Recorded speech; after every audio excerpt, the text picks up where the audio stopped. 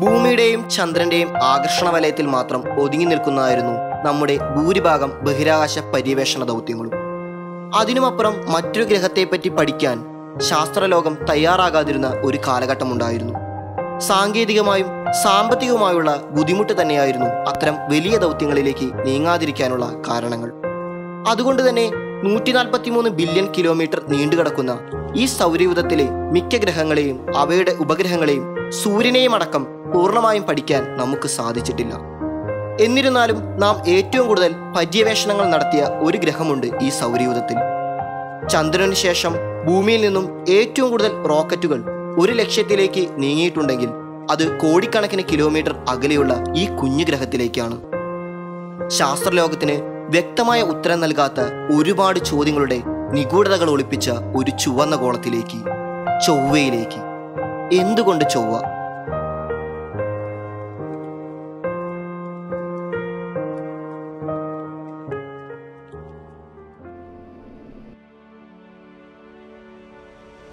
ഭൂമിയിൽ നിന്നും നഗ്നനേത്രങ്ങൾ കൊണ്ട് കാണാൻ സാധിക്കുന്ന ചുരുക്കം ചില ഗ്രഹങ്ങളിൽ ഒന്നാണ് ചൊവ്വ. ധാരാളമായി ഇരുമ്പിന്റെ അംശമടങ്ങിയ ചൊവ്വയുടെ മണ്ണിൽ നിരന്തരം ഓക്സീകരണം നടന്ന് തുരുമ്പ് കണങ്ങൾ രൂപപ്പെടുന്നതിനാലാണ് ചൊവ്വയുടെ അന്തരീക്ഷം ചുവന്ന നിറത്തിൽ കാണപ്പെടുന്നത്. അതുകൊണ്ട് തന്നെ നമ്മുടെ പൂർവികരിൽ പലരും ചൊവ്വയെ ഒരു ചുവന്ന നക്ഷത്രമായാണ് തെറ്റിദ്ധരിച്ചിരുന്നത്. മറ്റു ഗ്രഹങ്ങളെ അപേക്ഷിച്ച് ശാസ്ത്രം എന്തുകൊണ്ട് ചൊവ്വയിലേക്ക് ശ്രദ്ധ കേന്ദ്രീകരിക്കുന്നു എന്ന ചോദ്യത്തിനുള്ള ആദ്യത്തെ ഉത്തരം ആ ഗ്രഹത്തിന്റെ സൗരയൂഥത്തിലെ സ്ഥാനം തന്നെയായിരിക്കും. നമ്മുടെ സൗരയൂഥത്തിൽ എട്ടോളം ഗ്രഹങ്ങളും അവയുടെ ഉപഗ്രഹങ്ങളുമായി ലക്ഷക്കണക്കിന് ഗ്രഹങ്ങളുണ്ട്. ഇവയിൽ ഒരേ ഒരു ഭൂമിയിൽ മാത്രമേ ജീവൻ നിലനിൽക്കുന്നുള്ളൂ. അപ്പോൾ ജീവൻ നിലനിൽക്കണമെങ്കിൽ ഒരു ഗ്രഹത്തിന്റെ ഭൗതികമായ സവിശേഷതകൾക്കൊപ്പം തന്നെ ആ ഗ്രഹത്തിന്റെ സ്ഥാനവും നിർണായകമാണ് എന്ന് വേണം മനസ്സിലാക്കാൻ. ജലത്തിന്റെ സാന്നിധ്യമാണ് ജീവൻ നിലനിൽക്കുന്നതിനുള്ള അടിസ്ഥാനമായി പലപ്പോഴും ശാസ്ത്രം കണക്കാക്കുന്നത്. ഈ അടിസ്ഥാനത്തിൽ ഒരു നക്ഷത്രത്തിനെ ചുറ്റുന്ന ഗ്രഹങ്ങളിൽ നിശ്ചിതമായ അന്തരീക്ഷമർദ്ദത്തിൽ ജലത്തിന് ദ്രാവക രൂപത്തിൽ നിലനിൽക്കാൻ സാധിക്കുന്ന താപനിലയോട് കൂടിയ വലയ മേഖലകളെയാണ് ഹാബിറ്റബിൾ സോൺ അല്ലെങ്കിൽ ഗോൾഡ് ലോക്ക് സോൺ എന്ന് പറയുന്നത്. പറഞ്ഞു വരുന്നത് ഈ മേഖലയിലെ ഗ്രഹങ്ങളിൽ ഭൂമിയിലേതുപോലെ തന്നെ ജീവൻ നിലനിൽക്കാനുള്ള സാഹചര്യമാണ് ഉണ്ടായിരിക്കുക എന്നതാണ്. സൂര്യനിൽ നിന്നും നൂറ്റി നാൽപ്പത്തിരണ്ട് മില്യൺ കിലോമീറ്റർ ദൂരപരിധിയിലുള്ള മേഖലയാണ് സൗരയൂഥത്തിലെ ഹാബിറ്റബിൾ സോണായി നമ്മൾ കണക്കാക്കുന്നത്. ഭൂമി ഈ പരിധിയിൽ ഉൾപ്പെട്ടുകൊണ്ടാണ് സൂര്യനെ വലയം ചെയ്യുന്നത്. ഭൂമിയെ കൂടാതെ മറ്റു രണ്ട് ഗ്രഹങ്ങളാണ് ഹാബിറ്റബിൾ സോണിലൂടെ സഞ്ചരിക്കുന്നത്. സൗരയൂഥത്തിലെ രണ്ടാമത്തെ ഗ്രഹമായ ശുക്രനും ഭൂമിക്ക് പുറകിലുള്ള ഓർബിറ്റലിൽ നാലാമനായി സൂര്യനെ വലം വയ്ക്കുന്ന ചൊവ്വയും. അപ്പോൾ പിന്നെ എന്തുകൊണ്ടാണ് ശാസ്ത്രലോകം ശുക്രനേക്കാൾ ചൊവ്വയ്ക്ക് പ്രാധാന്യം നൽകുന്നത്? ഉത്തരം ലളിതവും എന്നാൽ ഏറെ സങ്കീർണവുമാണ്. മറ്റൊന്നുമല്ല ഭൂമിയുമായി ഏറെ സമാനതകളാണ് ഈ കൊച്ചു ഗ്രഹത്തിനുള്ളത് എന്ന് തന്നെയാണ്. ചൊവ്വയിൽ ഒരു ദിവസം എന്നത് ഇരുപത്തിനാല് മണിക്കൂർ മുപ്പത്തേഴ് മിനിറ്റ് ഇരുപത്തിരണ്ട് സെക്കൻഡാണ്. അതായത് ഭൂമിയെ പോലെ തന്നെ സ്വയം ഭ്രമണം ചെയ്യുന്നതിന് ഏകദേശം ഇരുപത്തിനാല് മണിക്കൂർ മാത്രമാണ് ചൊവ്വയ്ക്കും വേണ്ടിവരുന്നത്. ഭൂമിയിലെ ആർട്ടിക് അന്റാർട്ടിക് ധ്രുവപ്രദേശങ്ങളിലേതുപോലെയുള്ള മഞ്ഞുമലകളും മറ്റും ചൊവ്വയിൽ കണ്ടെത്താൻ കഴിഞ്ഞിട്ടുണ്ട്. മാറി മാറി വരുന്ന വ്യത്യസ്തമായ ഋതുക്കൾ കാലാവസ്ഥ വലിയ അഗ്നിപർവത സ്ഫോടനങ്ങളും അവയുടെ ഭാഗമായ ലാവാപ്രവാഹങ്ങളുമെല്ലാം തന്നെ മറ്റു ഗ്രഹങ്ങളിൽ നിന്നും ചൊവ്വയെ വ്യത്യസ്തമാക്കുകയും ഭൗതികമായി ഭൂമിയോട് കൂടുതൽ അടുപ്പിക്കുകയും ചെയ്യുന്നു. വിജയകരമായി ചൊവ്വയിലിറങ്ങിയ ആദ്യ ബഹിരാകാശ പേടകം നാസയുടെ വൈക്കിംഗ് വൺ ആയിരുന്നു. ചൊവ്വയിൽ ഏതെങ്കിലും വിധമുള്ള ജീവന്റെ സാന്നിധ്യമുണ്ടോ എന്ന ചോദ്യമാണ് വൈക്കിംഗ് വണ്ണിനെ അവിടെ എത്തിച്ചത്. ശാസ്ത്രലോകത്ത് ഏറെ സംവാദങ്ങൾക്ക് വഴിവെച്ച ചില കണ്ടെത്തലുകൾ വൈക്കിംഗ് വൺ നടത്തി. മീതേൽ ക്ലോറൈഡ് ഡൈക്ലോറോ മീതേൻ പോലുള്ള ഓർഗാനിക് സംയുക്തങ്ങളുടെ സാന്നിധ്യം ഈ ലാൻഡർ അവിടെ കണ്ടെത്തി. യൂറോപ്യൻ സ്പേസ് ഏജൻസിയുടെ മാവിസ് എക്സ്പ്രസ് സ്പേസ് ക്രാഫ്റ്റ് രണ്ടായിരത്തി മൂന്നിൽ സമാനമായ നിരീക്ഷണങ്ങൾ നടത്തുകയും ലളിതമായ ഓർഗാനിക് മോളിക്യൂളായ മീതേൻ കണ്ടെത്തുകയും ചെയ്തിരുന്നു. ജീവൻ നിലനിൽക്കാനുള്ള സാധ്യതകളിലേക്കുള്ള ചൂണ്ടുപലകയായാണ് മീതേന്റെ സാന്നിധ്യം വിലയിരുത്തുന്നത്. ഭൗമാന്തരീക്ഷത്തിലെ മീതേനിന്റെ വലിയൊരു ഭാഗവും സംഭാവന ചെയ്യുന്നത് സമുദ്രങ്ങളും തണ്ണീർത്തടങ്ങളുമാണ്. ഫോസിൽ ഫ്യൂവൽസ് കത്തുമ്പോഴും ജീർണിച്ച സസ്യജന്തുജാലങ്ങളിൽ നിന്നുമെല്ലാം അന്തരീക്ഷത്തിലേക്ക് മീതേൻ ഗ്യാസ് പ്രവഹിക്കുന്നുണ്ട്. അതുകൊണ്ട് തന്നെ ചൊവ്വയുടെ പൂർവകാലഘട്ടങ്ങളിൽ അവിടെ വലിയ സമുദ്രങ്ങളോ അതിൽ ജീവനുള്ളതോ അല്ലാത്തതോ ആയ സസ്യജന്തുജാലങ്ങളോ സൂക്ഷ്മജീവികളോ വസിച്ചിരിക്കാനുള്ള സാധ്യതകൾ കൂടി ശാസ്ത്രലോകം പഠനവിധേയമാക്കുന്നു. ഓർഗാനിക് സംയുക്തങ്ങൾ കൊണ്ടാണ് നമ്മുടെ കോശങ്ങളെല്ലാം നിർമ്മിച്ചിരിക്കുന്നത്. അതിലെ പൊതുഘടകമാണ് കാർബൺ എന്ന മൂലകം. അതുകൊണ്ട് തന്നെ കാർബണിന്റെയും കാർബണിക സംയുക്തങ്ങളുടെയും വലിയ തോതിലുള്ള അളവ് ചൊവ്വയിൽ ജീവന്റെ നിലനിൽപ്പിന് ഗുണകരമായേക്കുമെന്നാണ് ശാസ്ത്രം വിലയിരുത്തുന്നത്. ചൊവ്വയിലെ താപനില മധ്യരേഖാ പ്രദേശങ്ങളിൽ ഇരുപത് ഡിഗ്രി സെൽഷ്യസും രാത്രിയിൽ മൈനസ് എഴുപത് ഡിഗ്രി സെൽഷ്യസുമാണ്. ധ്രുവങ്ങളിൽ ഇത് മൈനസ് അറുപത്തിമൂന്ന് മുതൽ മൈനസ് നൂറ്റി അമ്പത്തിനാല് ഡിഗ്രി സെൽഷ്യസ് വരെയാണ്. എന്നാൽ ഈ താപനിലയിലും ജീവന്റെ സാന്നിധ്യം സാധ്യമെന്നാണ് ശാസ്ത്രം പറയുന്നത്. അതായത് ഭൂമിയിൽ താപനില കുറഞ്ഞ ധ്രുവപ്രദേശങ്ങളിൽ പെൻഗിനും ധ്രുവക്കരടിയും അടക്കമുള്ള പല ജീവജാലങ്ങളും ജീവിക്കുന്നത് പോലെ ചൊവ്വയുടെ ധ്രുവപ്രദേശങ്ങളിലും ജീവന് ഭീഷണിയുള്ള താപനിലയല്ല ഉള്ളത്. ചിലിയിലെ വരണ്ട മരുഭൂമികളിൽ വരെ ജീവസാന്നിധ്യം കാണുമ്പോൾ ചൊവ്വയിലെ റേഡിയേഷൻ കുറഞ്ഞ വരണ്ട ഭൂമിയിലും ജീവൻ നിലനിൽക്കാൻ വെല്ലുവിളികൾ അധികമുണ്ടാകില്ലെന്നാണ് ആസ്ട്രോബയോളജിസ്റ്റുകൾ കണക്കാക്കുന്നത്. അന്റാർട്ടിക്കയിൽ കണ്ടെത്തിയിട്ടുള്ള ചില ഉൽക്കാശലുകൾ ചൊവ്വയിലെ കൂറ്റൻ സ്ഫോടനങ്ങളിൽ നിന്നും ഭൂമിയിലെത്തിയതാകാമെന്നാണ് ആസ്ട്രോളജിസ്റ്റുകൾ വിലയിരുത്തുന്നത്. ഒരുപക്ഷെ ഇത്തരം ഉൽക്കാപതനങ്ങളാകാം ഭൂമിയിൽ ജീവൻ ഉത്ഭവിക്കുന്നതിന് കാരണമായതെന്നും ചൊവ്വയിൽ നിന്നുമാകാം ഘടനാപരമായി ജീവനുള്ള സൂക്ഷ്മജീവികൾ. ഭൂമിയിൽ എത്തിയതെന്നുമുള്ള വാദങ്ങൾ ശാസ്ത്രലോകത്ത് ചൂടേറിയ ചർച്ചകൾക്കാണ് വഴിവെച്ചത്. രണ്ടായിരത്തി പതിമൂന്നിലെ ഒരു ഡിസംബർ മാസത്തിൽ നാസയിലെ ശാസ്ത്രജ്ഞർ ഒന്നടങ്കം ഈ ലോകത്തോട് വിളിച്ചു പറഞ്ഞു. മൺമറഞ്ഞുപോയ ഒരു ജലതടാകത്തിന്റെ അവശിഷ്ടങ്ങൾ ഞങ്ങൾ ചൊവ്വയിൽ കണ്ടെത്തിയിരിക്കുന്നുവെന്ന്. നാസയുടെ ക്യൂരിയോസിറ്റി റോവറായിരുന്നു ആ കണ്ടെത്തലിന് പുറകിൽ. ശാസ്ത്രലോകം ഇന്നും ചർച്ച ചെയ്യുന്നതും ഭാവിയിലെ ചൊവ്വാ ദൗത്യങ്ങൾക്ക് കൂടുതൽ ഊർജം പകരുന്നതുമായിരുന്നു ആ കണ്ടെത്തൽ. ചൊവ്വയുടെ കനം കുറഞ്ഞ അന്തരീക്ഷപാളികളിൽ പിന്നീട് ജലസാന്നിധ്യം കണ്ടെത്തിയെങ്കിലും സ്ഥിരമായി ജലസാന്നിധ്യം ചൊവ്വയിലുണ്ടോ? ജലം വലിയ നദികളായി ചൊവ്വയിൽ ഒഴുകുന്നുണ്ടോ? എന്നുള്ള ചോദ്യങ്ങൾക്കെല്ലാം വ്യക്തമായ മറുപടി ഇപ്പോഴും ശാസ്ത്രലോകത്തിനില്ല. പക്ഷേ ചൊവ്വയുടെ അന്തരീക്ഷമർദ്ദം ഭൂമിയുടെ നൂറിൽ ഒന്ന് മാത്രമായതിനാൽ ഈ കുറഞ്ഞ അന്തരീക്ഷമർദ്ദത്തിൽ ജലം സ്വാഭാവിക രൂപമായ ദ്രാവക രൂപത്തിൽ ഉപരിതലത്തിൽ സ്ഥിതി ചെയ്യുന്നതിനുള്ള സാധ്യത കുറവാണെന്ന നിഗമനത്തിലാണ് ഗവേഷകരുള്ളത്. എന്നിരുന്നാലും ക്യൂരിയോസിറ്റി കണ്ടെത്തിയതുപോലെയുള്ള ചൊവ്വയുടെ ഉപരിതലത്തിലെ കറുത്തതും കനം കുറഞ്ഞതുമായ രേഖകൾ ഒരുപക്ഷെ ഉപരിതലത്തിലെ വലിയ ചെരുവുകളിൽ നിന്നോ കുന്നുകളിൽ നിന്നോ ഉള്ള ഉപ്പുവെള്ളത്തിന്റെ പ്രവാഹമായിരിക്കാമെന്നാണ് ഒരു കൂട്ടം ശാസ്ത്രജ്ഞർ അനുമാനിക്കുന്നത്.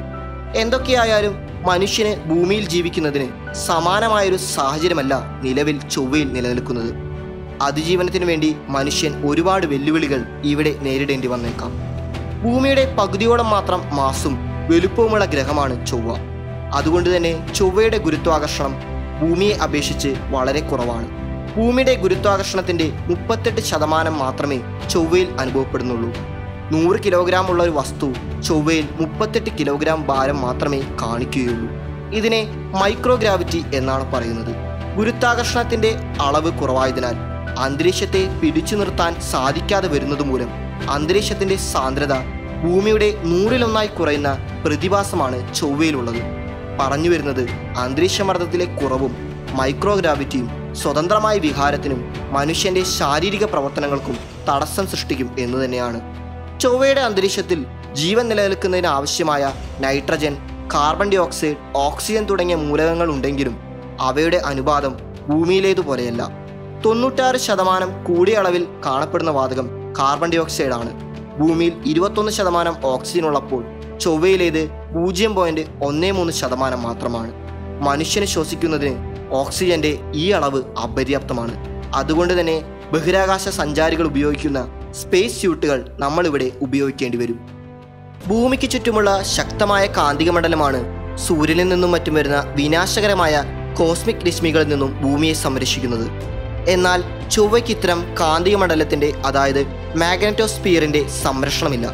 അതുകൊണ്ട് തന്നെ ഇത്തരം വിനാശകരമായ സൂര്യകണങ്ങളും കോസ്മിക് രശ്മികളും ജീവന്റെ നിലനിൽപ്പിന് തന്നെ ഭീഷണി ഉയർത്തും ആയിരത്തി തൊള്ളായിരത്തി അറുപത് മുതൽ ഇതുവരെ അമ്പത്താറ് ചൊവ്വാ ദൗത്യങ്ങൾക്കാണ് വിവിധ രാജ്യങ്ങളിലെ സ്പേസ് ഏജൻസികൾ തുടക്കം കുറിച്ചത്. എന്നാൽ ഇതിൽ ഇരുപത്താറെണ്ണം മാത്രമേ വിജയകരമായി ലക്ഷ്യം കണ്ടുള്ളൂ. അതായത് ദൗത്യങ്ങളിലെ വിജയ ശതമാനം അമ്പതിൽ താഴെ മാത്രമാണ്. ഭൂമിയിൽ നിന്നും ഏകദേശം ഇരുന്നൂറ്റി ഇരുപത്തഞ്ച് മില്യൺ കിലോമീറ്റർ ദൂരെ കിടക്കുന്ന ഈ ഗ്രഹത്തിലേക്ക് എത്തിച്ചേരണമെങ്കിൽ നൂറ്റമ്പത് മുതൽ മുന്നൂറ് ദിവസം വരെ എടുത്തേക്കാം. അതുകൊണ്ട് തന്നെ പല ദൗത്യങ്ങളും പാതി വഴിയിൽ പരാജയപ്പെട്ടു പോവുകയാണ് ചെയ്യുന്നത്. എന്നാൽ നമ്മൾ ഇന്ത്യക്കാർക്ക് ഇക്കാര്യത്തിൽ അഭിമാനിക്കാം. ആദ്യ ശ്രമത്തിൽ തന്നെ ചൊവ്വാ ദൗത്യം വിജയകരമാക്കുന്ന ലോകത്തിലെ ആദ്യ രാജ്യമായി ഇന്ത്യ മാറിയത് രണ്ടായിരത്തി പതിനാലിലെ നമ്മുടെ ചൊവ്വാ ദൗത്യമായ മംഗൾയാനിലൂടെയായിരുന്നു. ലോകരാജ്യങ്ങളെ ആകമാനം തന്നെ അത്ഭുതപ്പെടുത്തിയ നമ്മുടെ സ്വന്തം ഐ എസ് ആർഒ കുറഞ്ഞ ചിലവിൽ മിഷൻ പൂർത്തീകരിച്ചതിന്റെ പേരിൽ അന്താരാഷ്ട്ര തലത്തിൽ തന്നെ പ്രശംസിക്കപ്പെട്ടിരുന്നു.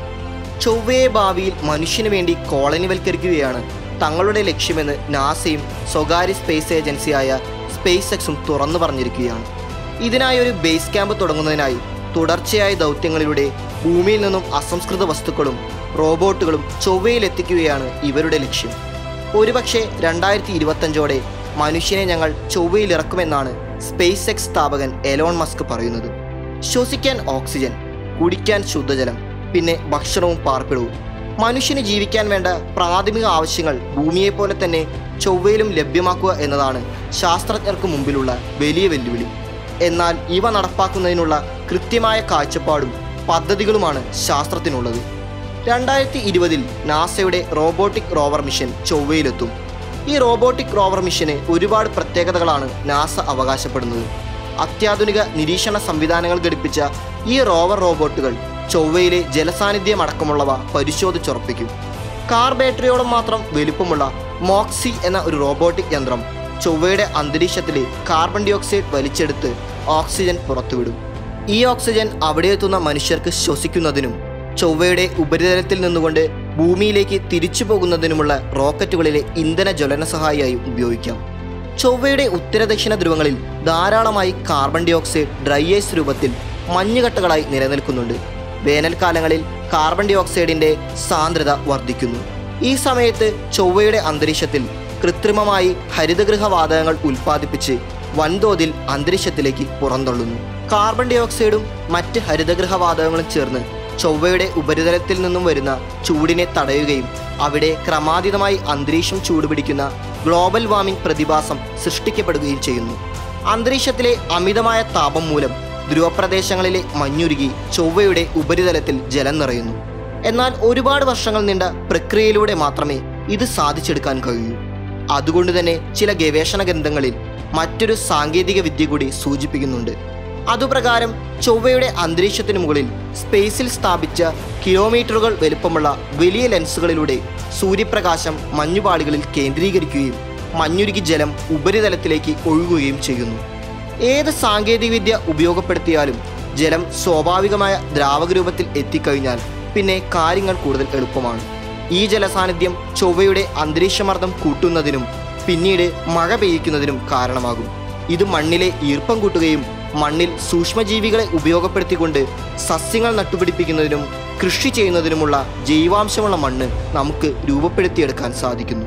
അന്തരീക്ഷമർദ്ദം വളരെ കുറവായതിനാൽ ഭൂമിയിൽ ഉള്ളതുപോലെയുള്ള പാർപ്പിട സമുച്ചയങ്ങൾ നമുക്കവിടെ നിർമ്മിക്കുവാൻ സാധിക്കുകയില്ല. മനുഷ്യ സഞ്ചാരത്തിന് ഉപയോഗിക്കുന്ന ബഹിരാകാശ വാഹനങ്ങളിൽ ഉള്ളതുപോലെ മർദ്ദം ക്രമീകരിച്ച ചെറു കെട്ടിടങ്ങൾ റോബോട്ടുകളുടെ സഹായത്തോടെ നിർമ്മിച്ചെടുക്കേണ്ടി വരും. ചൊവ്വയുടെ മണ്ണിൽ നിന്നും ഇഷ്ടികകൾ രൂപപ്പെടുത്തിയെടുക്കാൻ സാധിക്കുമെന്നാണ് ഗവേഷകർ കണക്കാക്കിയിട്ടുള്ളത്.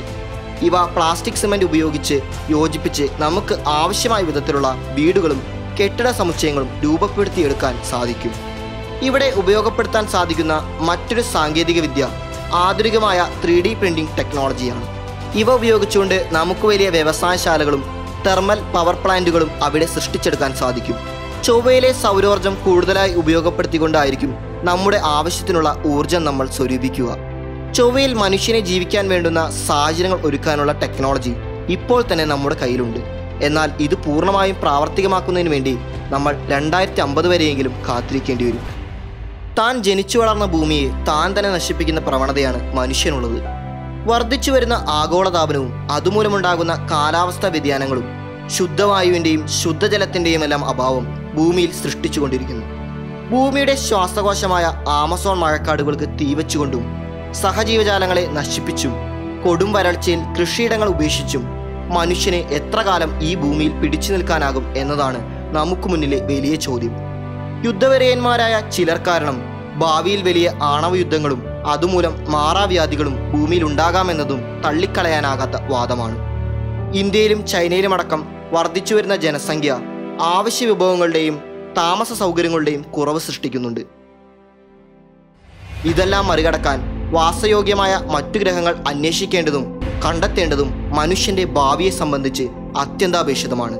അവിടെയാണ് ചൊവ്വാ ദൗത്യങ്ങൾ പോലെയുള്ള ശാസ്ത്രാന്വേഷണങ്ങൾക്ക് ആനുകാലികമായ പ്രസക്തിയേറുന്നത് വരാൻ പോകുന്ന ഭാവിയുടെ തലമുറ ചൊവ്വയെ പോലുള്ള ഗ്രഹങ്ങളെ കീഴടക്കുന്ന കാലം വിദൂരമായിരിക്കുകയില്ല.